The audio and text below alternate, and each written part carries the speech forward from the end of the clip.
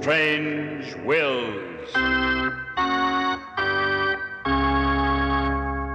Starring the distinguished Hollywood actor Warren William and featuring Lorene Tuttle with Howard Culver and an all star Hollywood cast. Original music by Del Castillo.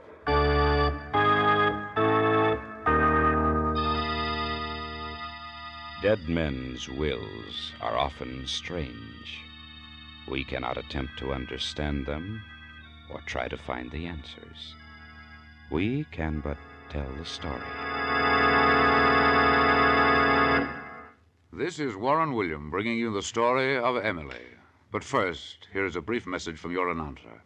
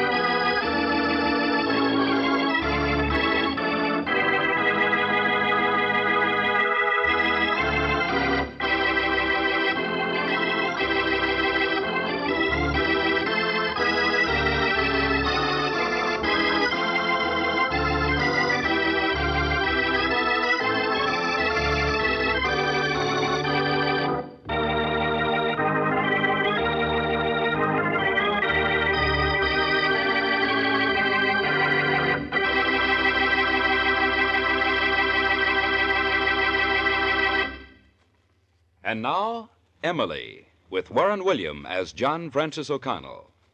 Is it possible for some men to love an inanimate object more than they could ever love a human being?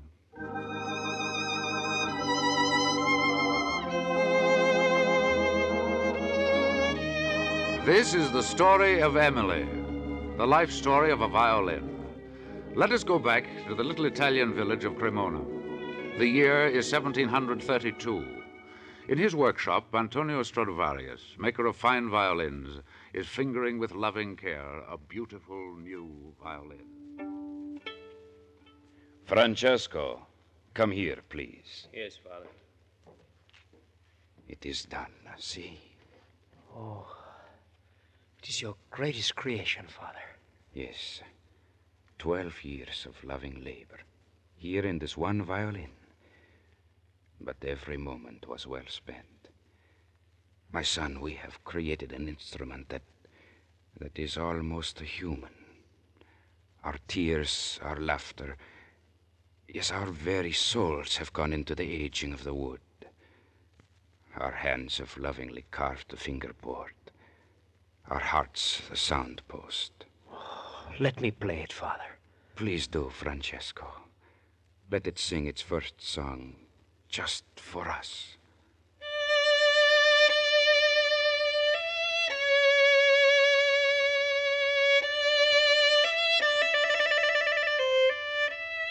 It sounds like the voice of a beautiful girl. Rich, full, vibrant. But one not yet tempered by the years, my son. Today, this violin sings the song of youth. But as it lives, it will cry also. To be perfect, it must suffer as human beings suffer. It must drink deeply of life to be able to sing of life. Father, what shall you name it? I've been thinking for many months about a name. You know, my son, there is only one name that I think we can give it. Is the name of a young girl that I once heard singing in the hills of Lombardy. I was but a boy. It was spring, the hills were green, the blossoms bursting on the fruit trees. As I walked over the hills of our Lombardy, I thought I heard the voice of an angel. It was so fresh, eager, so full of life. There was sheer joy of youth. Bashful as I was, I, I spoke to her. You have the voice of an angel, Signorina. Well, thank you, young man. Oh, no, do not thank me, Signorina. Thank the good God in heaven for the miracle of your voice. I thank him for more than that, my young friend. I thank him for being alive, for letting me see the wonder of his miracles, for spring in our beloved Lombardy, and for giving me the grace to follow him as a nun. A, a nun? You? Yes. You see, my young friend, tomorrow I enter the convent of Mater Dolorosa. It is my calling. I am to be the bride of the Savior. God has doubly blessed you, Signorina. You are fortunate. I only ask that I can always feel as I do this morning, and that I may serve my Creator and sing his praises. What, uh, what is your name, Signorina? Emily? But why do you ask? Because someday I shall create a violin that will be better than all those in the world. Better than even those made by Amati. And when I do, Then, when you have created this great violin, my little friend, I shall name it after you, Signorina. I shall call it Emily.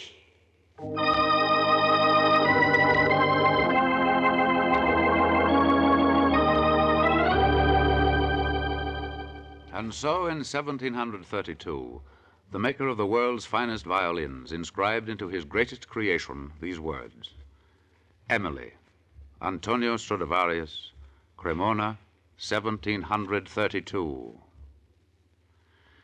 In the next 20 years, Emily became the most beloved possession of the great concertmaster Gustavo Martinelli. Emily was growing, growing in tonal quality and in loveliness. Her muted voice was heard in all the great concert halls of Rome, Berlin, Vienna. She was acclaimed by the music lovers of Europe. And then, one day, the great maestro retired. The golden voice of Emily was stilled, but not for long. Fortunately, a roving band of gypsies came to town. And when they left, under the cover of darkness, they had Emily.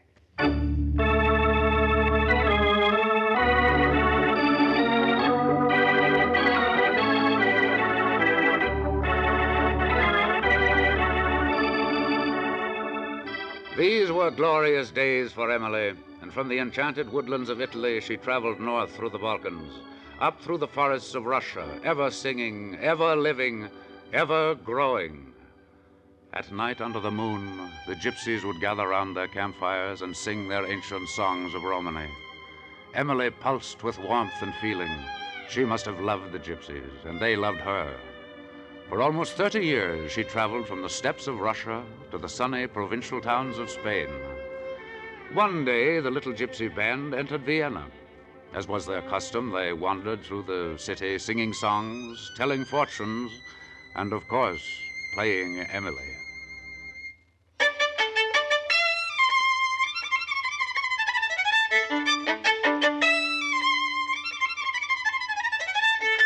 As they played their wild gypsy music, a man opened his window in the Odenhaus and looked down into the street.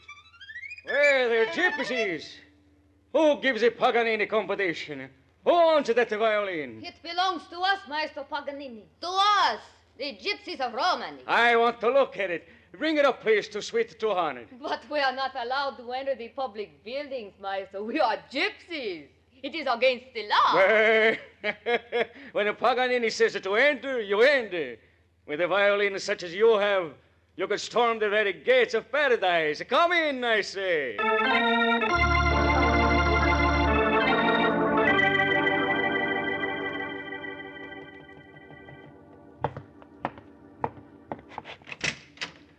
Ah, come in, gypsy girl. Come in.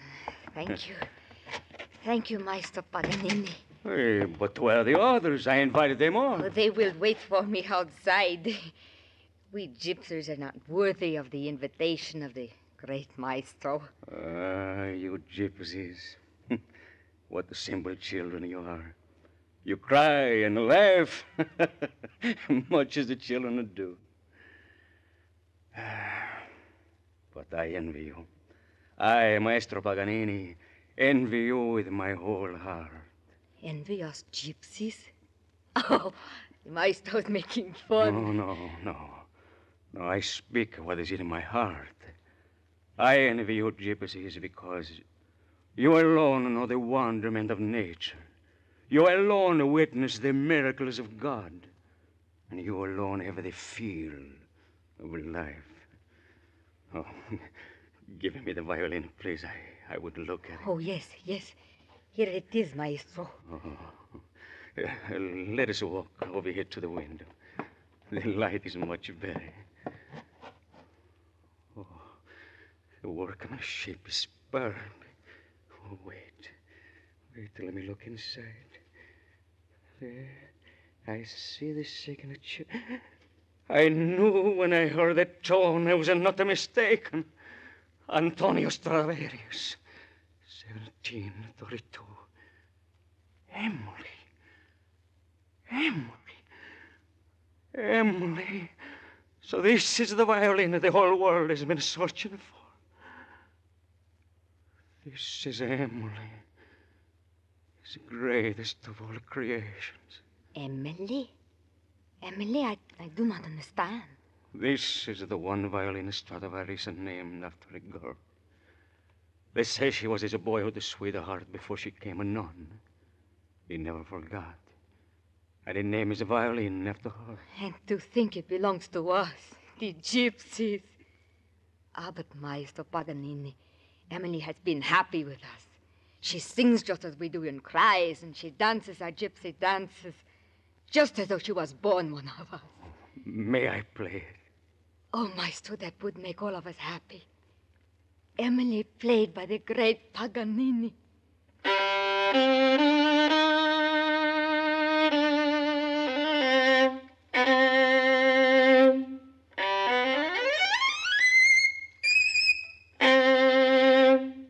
It is a divine.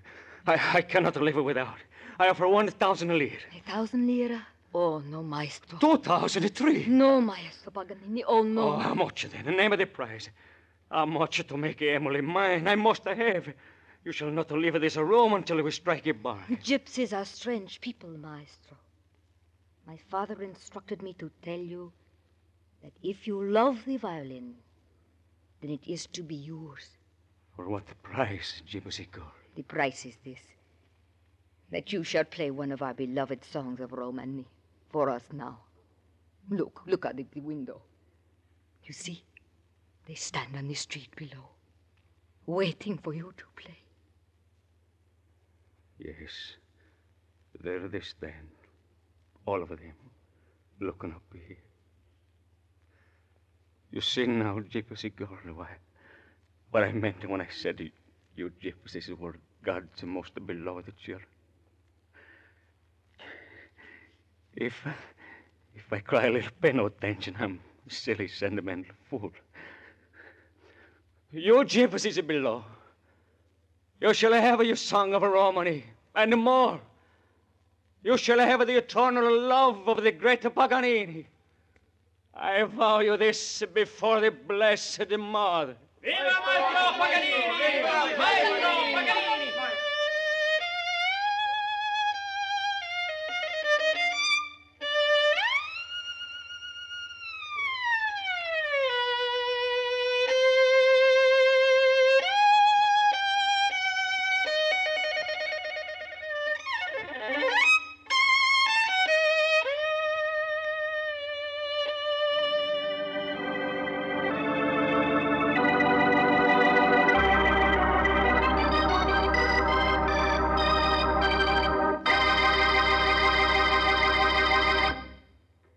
two of Emily in just a moment. But first, a brief message from your announcer.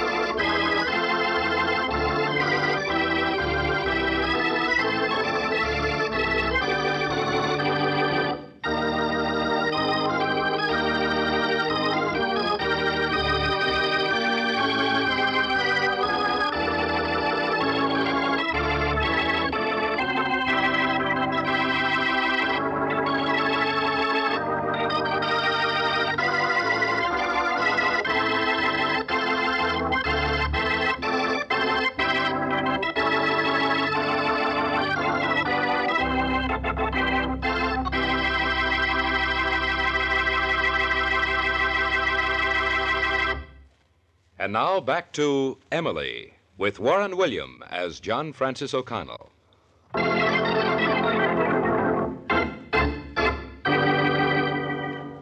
Having acquired Emily, Niccolo Paganini soon became the toast of king and beggar. London, Paris gave him their adulations reserved only for the very great. The capitals of Europe begged for his appearance. The years passed swiftly. Finally, he gave his last concert. It was in the Imperial Conservatory in Vienna, just a stone's throw from where he had first heard Emily.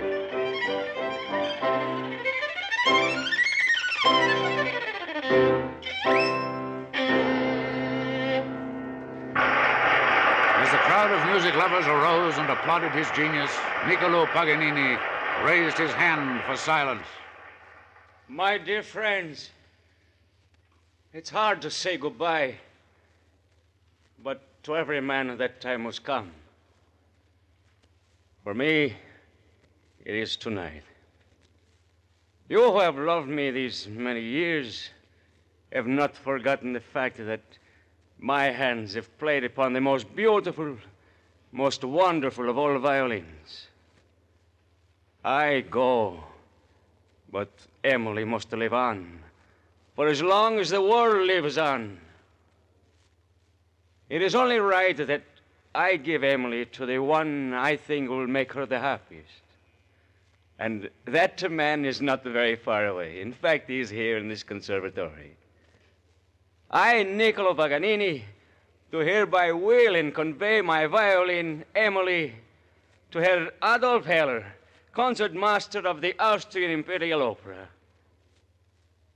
And may he bring joy and happiness not only to all of you, but to my dearest possession, my Emily.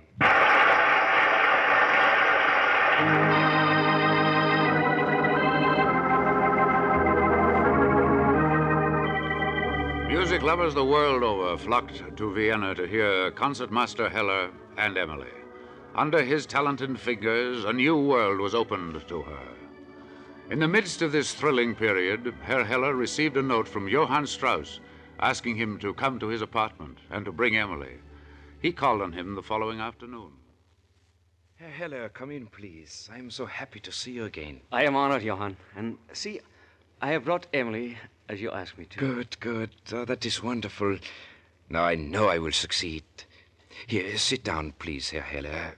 Adolf, and let me tell you what I've been doing. Thank you. Adolf, you and I have been born and raised in Vienna. Beautiful Vienna. Is it not so? Oh, ja, Johann. Our Vienna is the most beautiful in the world. Music and Vienna. The one belongs to the other. That is right, Adolf. Now, let me tell you. For the past few weeks, I've been working on a new composition that will make our Vienna live forever in song. I have the manuscript ready, but I wanted Emily and you and I to be the first to play it. Then we will see whether or not it is really as beautiful as I hope it to be. Uh, come over here to the piano, Adolf. Yes, Johann. See, here is my composition.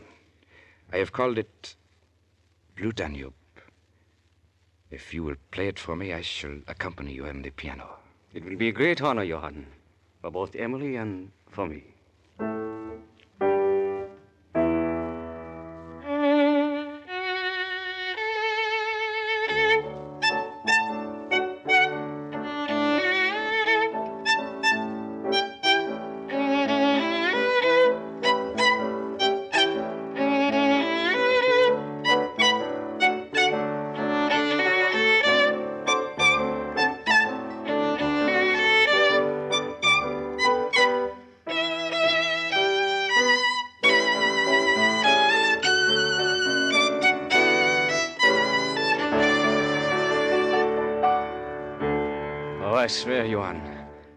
As long as a single one of us remains alive, Emily will never leave Vienna.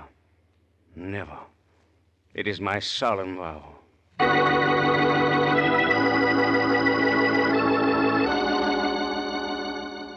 From father to son, father to son, down through the next three generations, Emily stayed in the Heller family as each son became in turn concertmaster of the Royal Opera House. These were exciting years.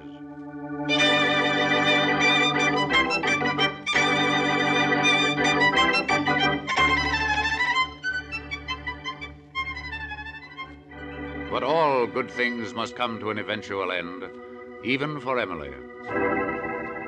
In 1938, Hitler decreed that Austria and Germany would henceforth be one. By special decree, the Viennese Symphony Orchestra was transferred to Munich. All through the war years that followed, Emily was forced to play music selected by government agencies.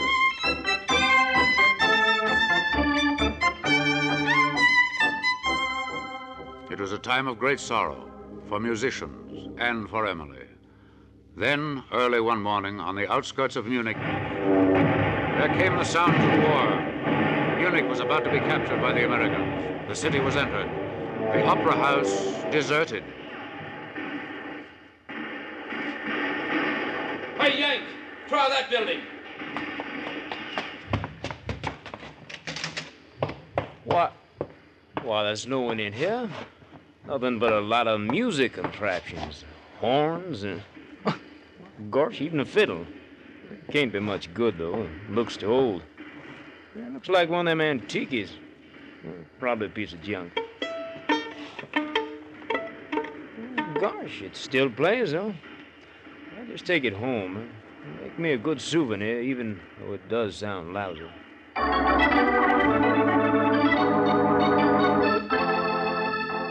Then to America came Emily, and the stage was set for us to meet. I was driving through the hill country of Tennessee. It was a beautiful spring morning. The fruit trees were bursting with their snow tinted fragrance. Just outside the little village of Pineborough, I noticed some public announcements nailed on a tree. The letters were red and flaming. Barn dance, I read. Hear George Ricketts play his captured German fiddle. Come one, come all. Refreshments. well, I decided to stay over and hear George Ricketts play his fiddle. Well, uh, grab your partner, swing 'em round, raise to the left and kiss to the right, and march 'em down the sit around, and kiss the girls and make 'em smile.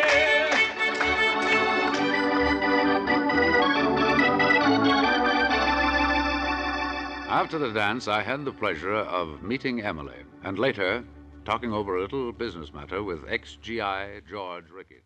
It's been mighty nice, Mr. O'Connell, having you as a sort of guest star tonight. And believe me, George, I thoroughly enjoyed my stay over to hear you play your violin. Well, well thank you, Mr. O'Connell. I, I don't play very much, mostly if I square dances and the barn dances in the fall. George, may I look at your violin, please? Why, sure.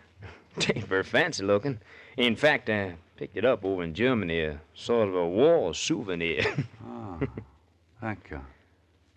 Yes, it does look rather old, doesn't it? don't see how it hangs together after the beating I give it at these here shindigs. You see, George, the man who made it put his name in it. Here it is. See it? Why, sure. I seen that afore. Uh, Anto... Uh, Antonio Str... Uh, Str... Oh, something or other. Never paid me much attention to it. Sounded like some uh, Italian to me. He was George. He was an Italian. His name was Antonio Stradivarius. He was a great genius, George. I want to ask you something, man to man. Why, you just go right ahead, Mr. O'Connell. I'm a listening. Once upon a time, this violin belonged to some musician who undoubtedly loved it more than anything else in the world. Love a fiddle that much? Why, you're a joshin'. No, I'm not, George. I'm telling you the truth. You know, in Europe, these violins are handed down from father to son, down through the years. well, do they think that much of 'em? They do, George. I know that someone misses this violin more than, well, more than you'd miss, say, $5,000. Five thou- Sort of choked me up there. I, I, I'd sure miss $5,000 more than I miss that. Is. Well, then, George, how about it? I'll give you my check for $5,000 and you give me this violin. Why, say, that that would buy Super Deluxe instruments for a whole band. Yes, sir, a whole band. Why, sure, sure, it's a deal, Mr. O'Connell. But uh, what do you say you write out that check right now? Believe it or not, George, that's just what I'm going to do. and uh, what are you going to do with that fiddle, Mr. O'Connell? Keep it as a war souvenir? No, George. I'm going to try very hard to find its owner. And when I do, I'm going to send it back to him.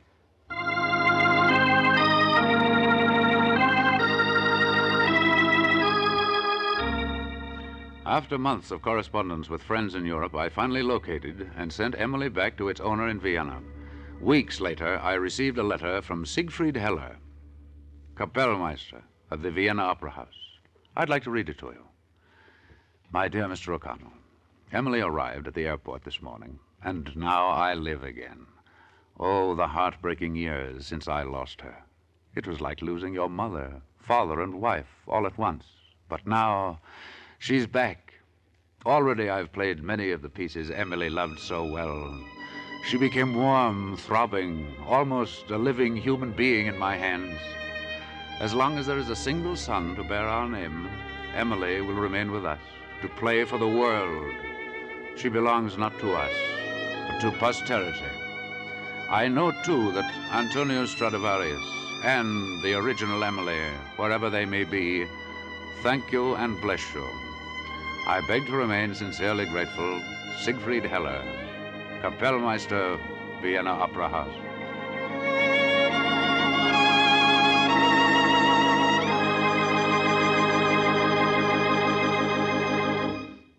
Warren William will be back to tell you the rest of the story about Emily. But first, here is a brief message from your announcer.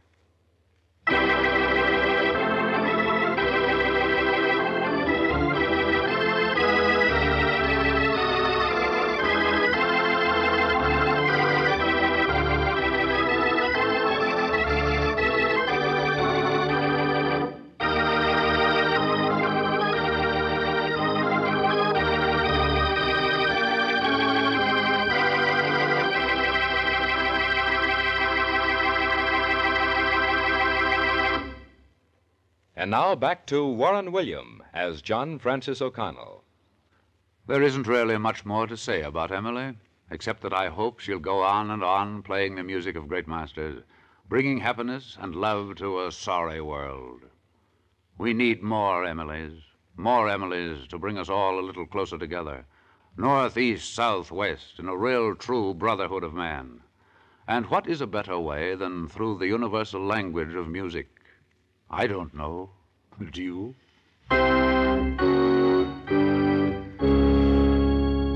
Next week, I have a thriller for you. An innocent man was sentenced to death for murder. One hour before the scheduled electrocution was to take place, a dying woman made her last will and in it confessed that she had murdered the man.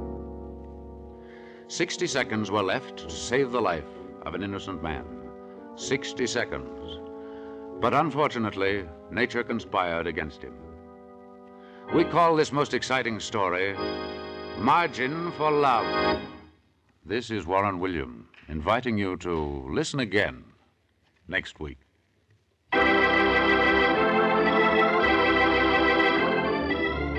Strange Wills is written by Ken Crepine and directed by Robert Webster Light. Ladies and gentlemen, it might interest you to know that the violin used on this program was made in Italy in the year 1750 by Januarius Gagliano. It was played by its owner, concertmaster Marshall Sosson. Names, places, and events in the program have all been changed so that reflection can fall on no persons living or dead. This is a Teleways feature produced in Hollywood.